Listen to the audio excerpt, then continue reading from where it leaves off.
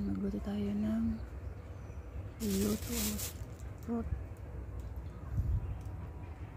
Meron tayong Chinese ingredients. At meron tayong lotus seed. Meron tayong red seed at longan. Meron din tayong luya or ginger. Meron din tayong dry scallop na binabad sa mainit. May karne tayong bato-bato. Pakuluan mo lang ng isang minuto. Then hugasan. Yan.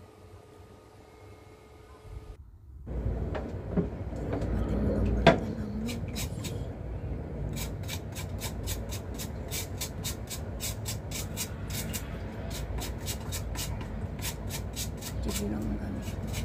Yung yung mag-pillar ako. Okay lang.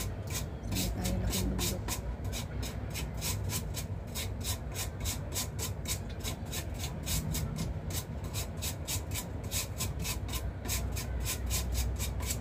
Mabilis lang mabasa ng isa.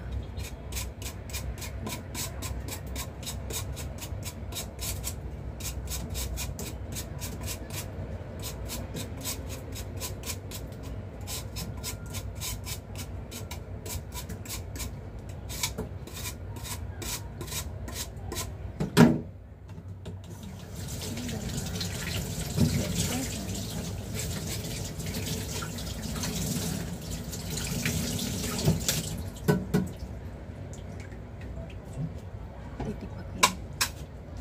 Titipakin lang natin siya ng tamang laki. Kasi kinakain din ni Ami. Masarap yan. Para siyang galyang. Kung mga taga-biko ka, alam mo kung anong galyang. Yan masarap. Siyang kamuting kahoy din. Yung tamang tipak lang. Tamang isang tubo.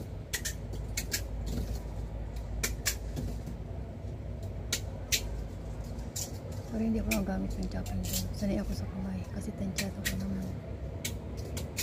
Tamang pag pagtipak lang. Ganyan lang siya. Tapos, nabalatan ko na rin yung isa kaya takin ko na rin. Meron siyang parang ano, yung parabang ano ng gagamba.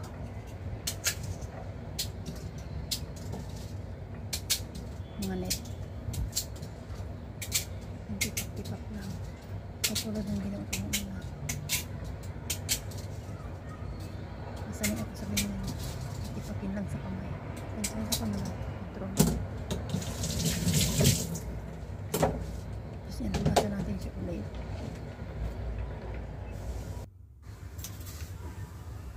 At ibababad natin sa isang kutsarang asin. At suka or vinegar. Rice vinegar. Tansya lang.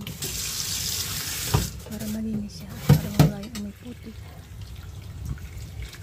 Baba natin siya sa alkaline water.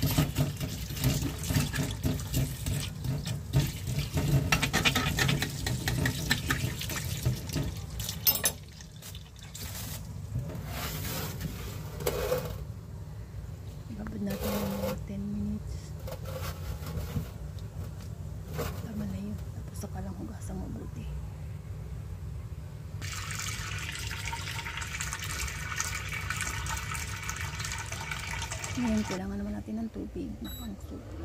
Yan dyan lang. Pakuluin muna natin.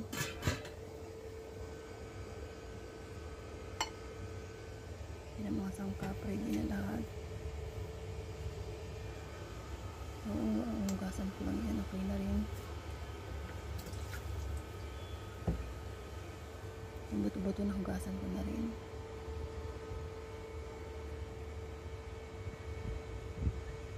Hugasan na rin yung mga Chinese ingredients. Mga ready. Yan, ready na. Hugasan ko na siya at nag-drain na rin. Yan, medyo kamuti.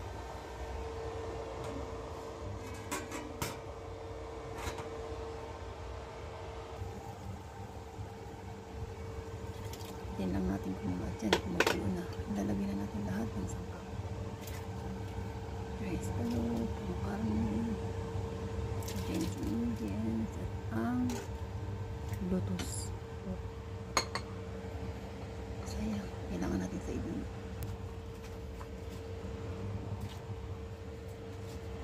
Salad natin ang lotus. Matagal yung lutuin kaya kailangan pakuluan natin siya ng dalawang oras mahigit. Kasi ang lotus matigas. Pero masarap yung pag naluto na. Yan, pakulin muna natin siya ng malakas na init. Bago pag kulong-kulo na sa kalagyan kailangan.